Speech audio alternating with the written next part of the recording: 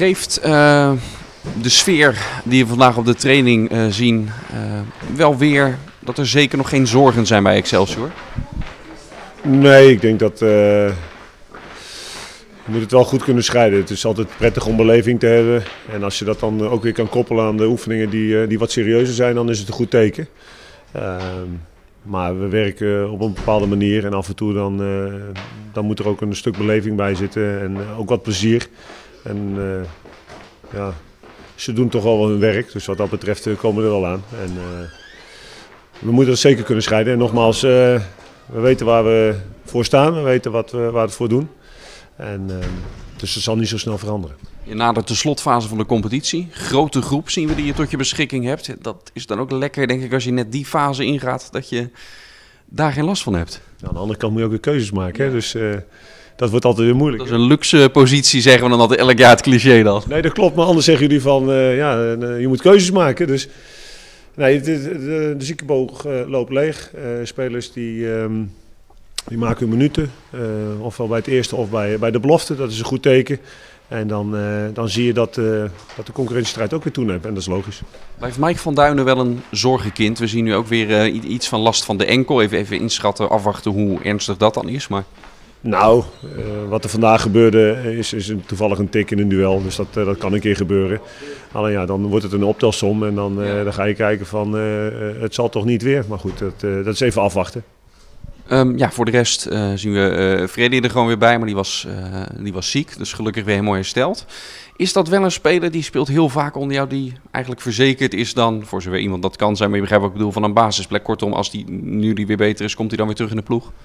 Nou, dat kan. Ik moet wel zeggen, en dat weet Freddy zelf ook, dat hij de laatste weken niet zijn niveau heeft gehaald zo, zoals daarvoor. En, ehm, dus ja, misschien dat daar ehm, zijn blessure, zijn kleine blessure die hij had, eh, ook mee te maken heeft gehad. En ehm, we hebben ook wat dagen eh, vrij afgegeven, dus je wat eh, fris in het hoofd kan worden. Hij heeft alles gespeeld natuurlijk, en, maar dat betekent niet dat hij altijd zeker is van de basisplaats.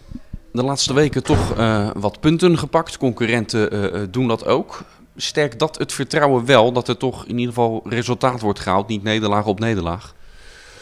Nou, het helpt, maar het schiet nog niet veel op. Eh, je blijft er in ieder geval bij. Alleen ik vind wel dat we eh, af en toe meer onszelf hadden meer moeten belonen. Dat was ook al voor de winterstop zo. Eh, het is nog niet echt voorgekomen dat we een wedstrijd de kleedkamer hebben opgezocht en dat we dachten van we hebben hier de punten gestolen. Eh, dat is geen excuus, dat is een feit. En ehm, wat dat betreft eh, weten we eigenlijk wel wat ons eh, te doen staat. En ja, het, zijn ieder puntje is meegenomen, zeggen we altijd, maar het schiet, het schiet niet zoveel op. Dus je, je bent, eh, ja, je moet een keer eh, drie punten gaan pakken. En dat is ook voor de manier van spelen, de manier van werken, waar, waar iedereen toch keihard eh, mee bezig is. Ja, dat, dat moet dan ook een keer vertrouwen gaan geven en dat moet ook een keer goed uitpakken. Pijnig jij wel eens het hoofd? Want we horen jou al vaker zeggen, en als we naar de wedstrijden kijken, is het, is het ook terecht. Hè, van Excelsior dat meer ingezeten, misschien wel meer verdiend. Maar als je dat zo vaak zegt, dan ja, moet je misschien ook wel eens het hoofd pijnigen van waar zit dat hem nou toch in?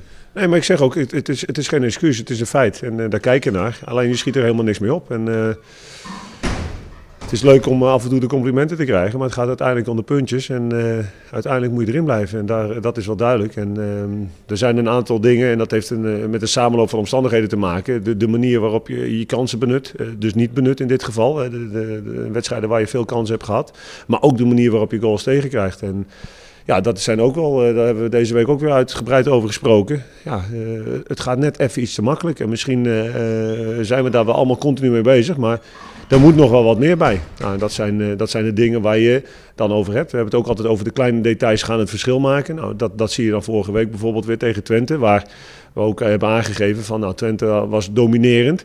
eh, zonder al te veel kansen. En als dan die goal valt, ja, dan valt ook alles goed. Bij ons valt alles eh, net tegen. Misschien komt dat ook met de situatie waar je verkeert, eh, in de onderste regionen. Maar daar moet je, daar moet je uit. En dan kunnen we wel eh, ons achter blijven verschuilen. Maar dan moet je uit. Dan moet je stappen in maken. En dan weet ik dat het moeilijk is. Het is nog, eh, nog 12 wedstrijden te gaan. Maar ja, we, moeten. En er wordt meer gevraagd dan alleen maar eh, leuk voetbal en, en goed meedoen. Ehm, we blijven kansen creëren, dus dat is prima. Maar er moet wat, bij- er moet wat bij en dat, eh, dat, dat weten we allemaal.